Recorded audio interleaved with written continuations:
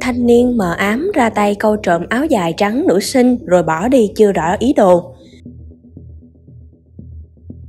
Mới đây, trên các diễn đàn phòng chống kẻ gian truyền tay nhau vụ việc manh động với caption như sau. Không rõ thanh niên sau trộm áo dài về làm gì, nhưng hành vi này khiến nhiều người không khỏi dở khóc dở cười. Gia chủ thì lo lắng vì sợ không biết có ảnh hưởng đến cô con gái rượu của mình hay không. Tình huống ra sao mời cả nhà cùng Sài Gòn TV xem tiếp nhé.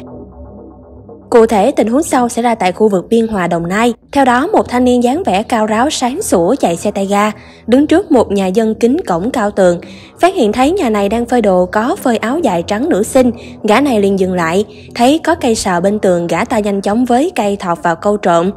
Do tường rào nhà khá cao nên anh thanh niên này dựng chống xe, đứng lên yên xe cho dễ dàng móc quần áo. Một lúc sau gã thanh niên câu được chiếc áo dài bỏ vào cốp.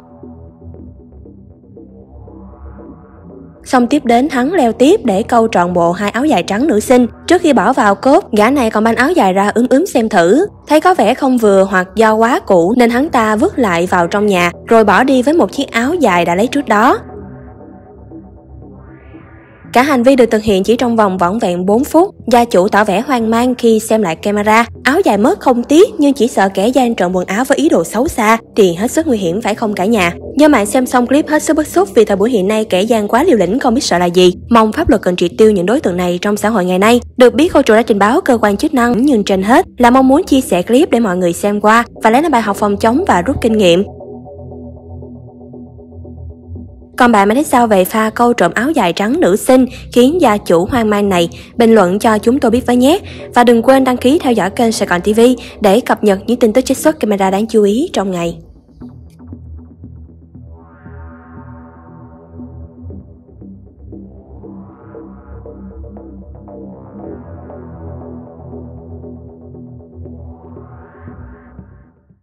Gửi ngay tin nóng cho Sài Gòn TV qua hotline 0909 660 550 để có cơ hội gia tăng thu nhập nha.